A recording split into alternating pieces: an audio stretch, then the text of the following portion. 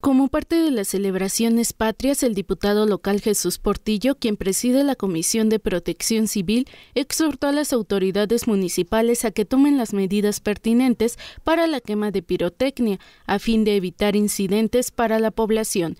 El llamado fue establecer un plan de emergencia que permita dar atención inmediata. Exhortó a quienes formen parte de las comisiones verificar que se cuente con los permisos necesarios para realizar la quema y manejo de juegos pirotécnicos.